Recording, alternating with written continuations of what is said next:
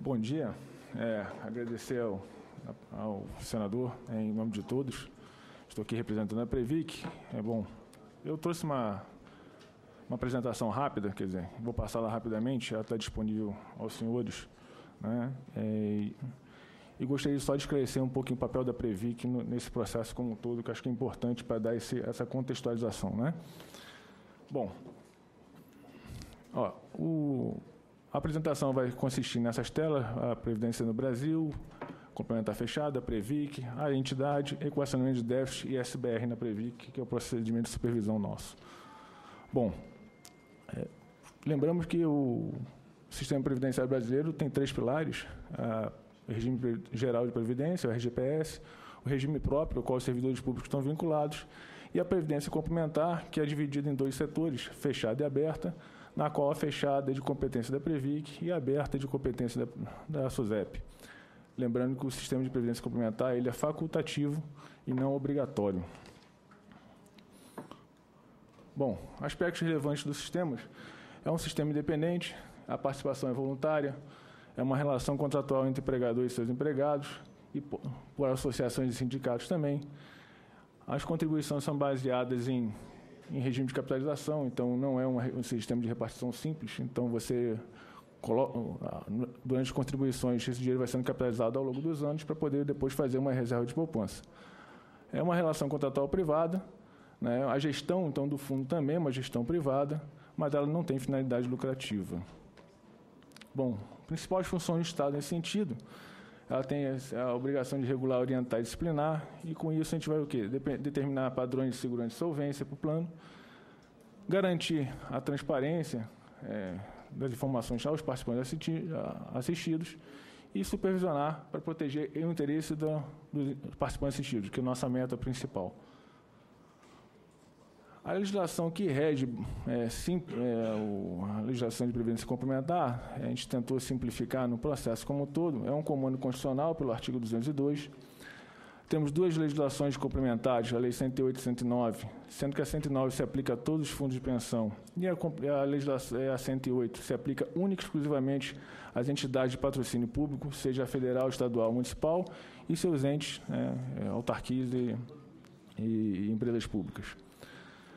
Um marco importante foi em, dois, é, em 2009, foi criada a Previc, é, é uma autarquia que tem cinco anos.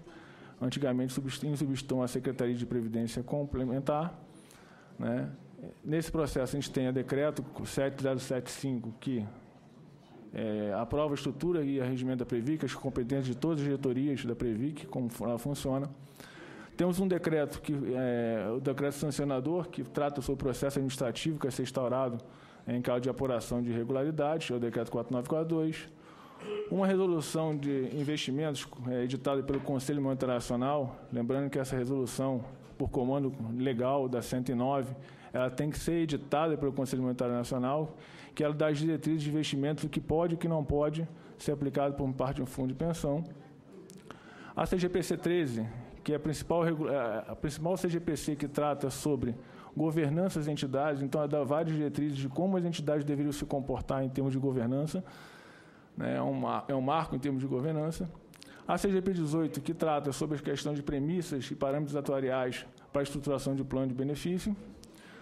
A CGPC 26, que trata exclusivamente de processo de distribuição de superávit e equacionamento de déficit, é um comando legal e a recomendação do, e a recomendação CGPC2 que a, adota a questão da supervisão baseada em risco no modelo de supervisão da, da Previc.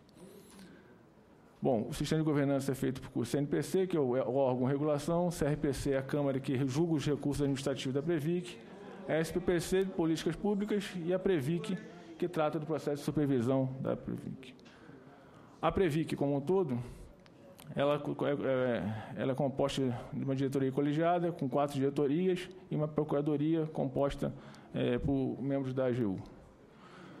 Dentre as principais competências da Previc estão a supervisão do plano eh, das SPCs, apurar e julgar infrações aplicando as penalidades cabíveis no âmbito administrativo e a mulher todos interromper você, uh, o doutor José Carlos para entrar no, na questão do, do, do, do, do porque Você vai tomar o tempo todo.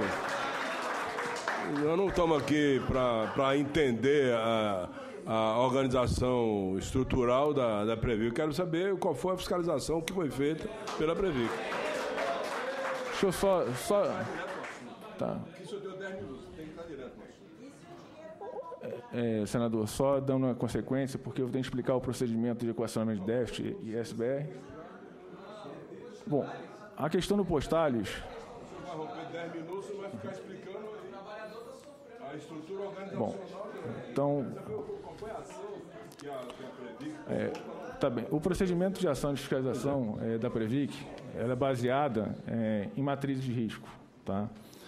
Bom, é, no caso específico... Como vou... foi feita essa fiscalização ao longo desses anos? O, proced... o procedimento de fiscalização é feito novamente uma, é, em um modelo de supervisão baseado em risco e a gente tem parâmetros técnicos, né, indicadores é, baseados em risco, o que vai ser feito em cada entidade ou como vai ser feito o modelo de supervisão. É, tentando falar um pouco sobre o caso Postales, na verdade, a, a Previc vem agindo em fiscalização há, há bastante tempo.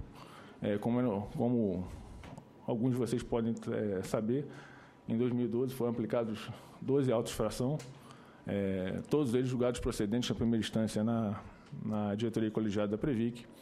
Dois deles já foram julgados em segunda instância pela Câmara de Recursos de Previdência Complementar, na qual seus dirigentes, é, por resultado, e, e, e, o resultado é público, é, foram condenados a, a inabilitação em pagamento de multa.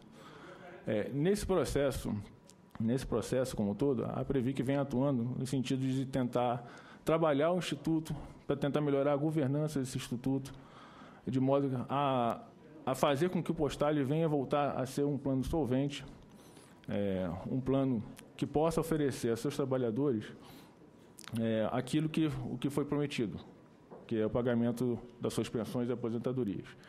É, claro que num, num, processo como esse, como esse do Postales, a gente tem a preocupação especial, o órgão é, é preocupado com esse processo.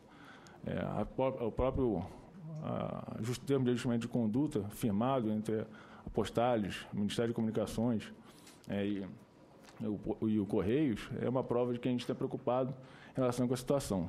É claro que em relação é, não, não, tenho como talvez falar aqui exatamente como, eh, especificamente sobre cada investimento que foi feito postais, né, porque é, em, função, em função dos processos que, são, que estão em andamento, processo de, de fiscalização, mas é, eu posso garantir, senador, que a, a Previc vem tomando todas as providências necessárias no sentido de fortalecer, tentar fortalecer o, o, o Instituto é, tentando determinando é, procedimentos de governança que possam melhorar o Instituto. Acho que grande parte das mudanças que estão ocorrendo também, é, a Previc vem atuando é, firmemente nesse processo, vem, tendo, vem conversando periodicamente é, com, com o fundo, é, as entidades representativas de classe do fundo, do, da, do Postales, se reúne periodicamente na Previc, as portas da Previc estão abertas para qualquer tipo de debate. É, então, as, o, as próprias associações aqui representadas já tiveram várias vezes na Previc conversando. É, outras representações de classe também vêm conversando com a Previc. E a atuação da Previc no sentido de fazer a melhor, melhoria da gestão do fundo, de modo que isso possa ser é, melhorar a governança do fundo. É, quanto do equacionamento, é, na verdade, isso é um comando constitucional, um comando legal. Ele é previsto no artigo 21 da Lei Complementar 109, na CGPC 26. E por comando legal e constitucional, a gente, eu, é, essa, esse equacionamento de déficit ele é paritário. Ele é na proporção contributiva das contribuições entre patrocinadores e participantes. Então, é um comando constitucional, existe uma regra que diz que a cada três, depois de três anos consecutivos ou depois de um determinado limite de percentual, esse equacionamento tem que ser imediato. Então, é, nesse processo de equacionamento, é, é, a Previc não tem muito o que fazer, a não ser cumprir o, o regulamento é, legal. É, mas, de qualquer forma, é, o trabalho é feito para poder que o, o plano seja, é, possa se recuperar e aí sim poder fazer o seu, fazer o seu cumprir seu papel, que é de pagar as contribuições e aposentadorias. A, a, a apresentação está disponível a todos. Né? Mas o... Um esclarecimento.